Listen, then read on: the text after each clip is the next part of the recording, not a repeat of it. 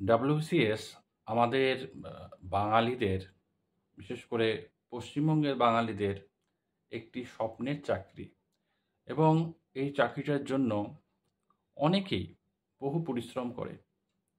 কিন্তু বহুবার পরিশ্রম করার পরেও কেন এই চাকরিটা হয় না বা হচ্ছে না, সেটা ভালো করে পর্যালোচনা করা দরকার।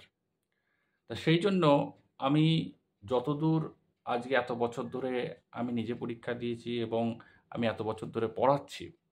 সেই হিসাবে আমি এইটুকু বলতে পারি যে ডাব্লিউবিসিএস ক্র্যাক করতে গেলে আমাদের নির্দিষ্ট কতগুলো নিয়মকানুন মেনে চলতে হবে এবং সেখানে যতগুলো সাবজেক্ট আছে, ততগুলো সাবজেক্টের মধ্যে সবকটিকে আপনি যে একেবারে এক্সপার্ট হয়ে যাবেন সেটা সম্ভব না। কিন্তু কিছু, কিছু সাবজেক্ট আছে যে সাবজেক্টগুলোকে আপনাকে তৈরি না করলে বা তৈরি করতে না পারলে আপনি কোনো দিনই এখানে সফল হতে পারবেন না। তা সেখানে যে দুটি সাবজেক্ট সবচেয়ে বেশি গুরুত্বপূর্ণ মানে আপনাকে ভালো হতেই হবে। তাতে কোনো কম্প্রোমাইজ করা যাবে না। সেটা হলো এক নম্বর হলো ইংলিশ। ইংলিশে আপনাকে ভালো হতেই হবে অ্যাট এনি কস্ট। যদি কেউ মনে করেন যে না আমি ইংরেজিতে দুর্বল বা আমি ইংরেজিতে আমি ঠিক ভালো পারি না বা আমি ইংরেজিটা অ্যাভয়েড করে আমি অন্যগুলো দিয়ে কাজ হাসিল করব, তারা কিন্তু খোয়াব দেখছেন। তা সুতরাং ইংরেজিটা ভালো করতে হবে। আর দু নম্বর হলো দু নম্বর হলো সেটা হলো ম্যাথ এবং জিআই। এই ম্যাথ, জিআই আপনাকে ভালো হতেই হবে, হতেই হবে, হতেই হবে। এখানে কোনো রকম আলাদা অপশন নেই যে না আমি ম্যাথে কম বা আমি জিআইতে কম। এখানে কমের জায়গা নেই। বাকি সাবজেক্টগুলো আপনি ওভারঅল কম বেশি ভালো না হলেও কিছু এসে যায় না। কিন্তু ম্যাথ এবং জিআই আর দু নম্বর হলো ইংলিশ। এই দুটো সাবজেক্ট আপনাকে ভালো হতেই হবে। By hooks or by crooks. সুতরাং এই ক্ষেত্রে আমি যেটা বলব সেটা হচ্ছে যে যেহেতু আমি ইংলিশ করাই, সেইজন্য ইংলিশে আমাদের কতগুলো স্ট্র্যাটেজি মেনটেন করতে হবে। ইংলিশটা কিন্তু প্রিলিমিনারিতে একটা বড় ভাইটাল রোল প্লে করে। কারণ ইংলিশে প্রিলিমিনারিতে ইংলিশ থাকে প্রায় ২৫ নম্বরের। এই পঁচিশটা অবজেক্টিভ কোয়েশ্চেনস থাকে। কিন্তু লাস্ট কয়েক বছরের যে ট্রেন্ড আমরা দেখতে পাচ্ছি, তাতে কিন্তু যেটা দেখা যাচ্ছে যে সেই সাবেকি সিনোনিম, অ্যান্টোনিম, ইডিয়াম ফ্রেজ এগুলো আর আসছে না।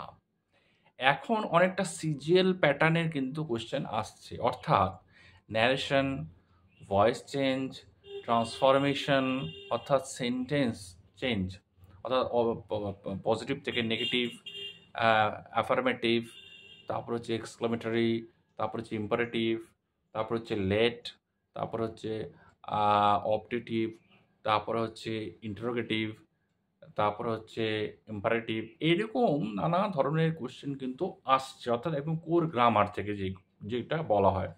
তারপর হচ্ছে ভার্বাল এগ্রিমেন্ট। কোন সাবজেক্টের সময় কোন ভার্বটা যাবে। তারপর হচ্ছে অ্যাপ্রোপ্রিয়েট ওয়ার্ড যেটাকে সিজিএল ক্লোজ টেস্ট বলে। সুতরাং এরকম জিনিসগুলো কিন্তু আসছে এবং মিসস্পেলড সেন্টেন্স ইমপ্রুভমেন্ট, তারপরে এরর কারেকশন এগুলো কিন্তু আগে বিসিএস কোনো দিন আসেনি।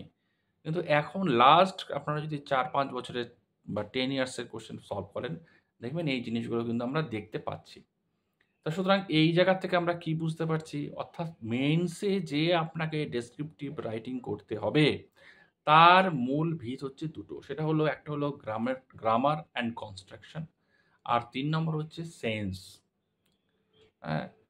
সুতরাং সেন্স যদি ঠিক না থাকে আর গ্রামার কনস্ট্রাকশন যদি ঠিক না থাকে তাহলে আপনি কিন্তু ডেসক্রিপটিভ করতে পারবেন না। সেটা ট্রান্সলেশনই হোক, সেটা প্রেসিস হোক, সেটা এসে হোক বা যাই হোক।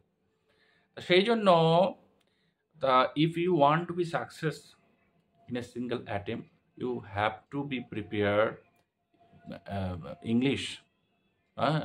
To make a good score সুতরাং এইটা কিন্তু খেয়াল রাখতে হবে যে ইংরাজিতে ভালো স্কোর না করলে কখনোই আমি ডাব্লিউবিসিএসটা ক্র্যাক করতে পারব না।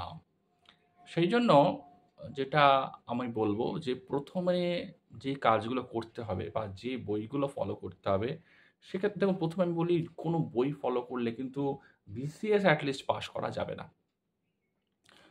অনেকেই দেখি বিসিএস এই ইউটিউবে বা বিভিন্ন জায়গায় বলে যে এই বই ওই বই এগুলো একদম ফালতু কথা কারণ আপনি যে বই পড়তে যাবেন না কেন সেই বইতে কোটি কোটি এক্সাম্পলস আছে। আপনি কোন এক্সাম্পলটা পড়বেন, কোনটা পড়লে কাজে লাগবে, সেটা তো আমরা জানি না। দেখুন, একটা জিনিস মাথায় রাখবেন, যতটা পড়তে হবে সেটাও যেমন আমাকে জানতে হবে, কোনটা পড়তে হবে না সেটাও কিন্তু আমাকে জানতে হবে। আপনি যদি এই দুটোর মধ্যে ব্যালেন্স করতে না পারেন, তাহলে এই যে অগাধ মহাসমুদ্র সিলেবাস এই সিলেবাস আপনি কোনোদিনই শেষ করতে পারবেন না। আর সবচেয়ে বড় কথা হচ্ছে, আপনি কত মনে রাখবেন? এত মনে রাখা তো সম্ভব না। কারণ জিআই পড়তে হবে ম্যাথ করতে হবে ইংলিশ করতে হবে, বাংলা করতে হবে, তারপর তো জিকেগুলো ছেড়েই দিলাম হিস্ট্রি জিওগ্রাফি পল সায়েন্স মানে হাজার হাজার সাবজেক্ট সুতরাং এত কিছু পড়ার সময় সেই জন্য আমাকে একটা মানে কি বলব, একটা একটা সাজেশন ওয়াইজ চলতে হবে যে আমি এইটুকুর মধ্যে আমি সীমাবদ্ধ থাকব।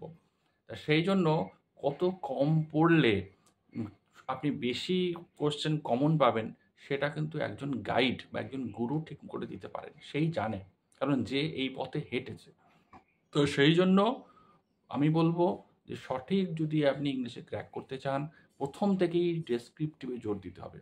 প্রথম থেকেই স্পোকেন ইংলিশে জোর দিতে হবে, কারণ ইন্টারভিউটা কিন্তু আপনার ইংলিশেই হবে, এটা আপনাকে ধরে নিতেই হবে। তা সেই জন্য আমার যে সমস্ত ব্যাচ আছে সেখানে আপনারা আসতে পারেন, অথবা অনলাইনে সরাসরি আমার সঙ্গে ক্লাস করতে পারেন। আমি স্পোকেন ইংলিশ করাই, আমি ইন্টারভিউ করাই, আমি ডেসক্রিপটিভ করাই, আমি অবজেক্টিভও করাই। একটা ক্লাস করে দেখতে পারেন, এবার আপনার যেটা সুবিধা হবে সেভাবে করবেন। কিন্তু আমি বলব গাইড ছাড়া বা গুরু ছাড়া কোনো মতেই করা সম্ভব না। কারণ ওই বই দেখে বা ইউটিউব দেখে, বা গুগল দেখে করলে কিন্তু কাজের কাজ কিছু হবে না। শুধু শুধু মানে ওয়েস্টেজ অফ টাইম যেটাকে বলে সেটাই হবে। তা সুতরাং আশা করি আপনারা জিনিসটা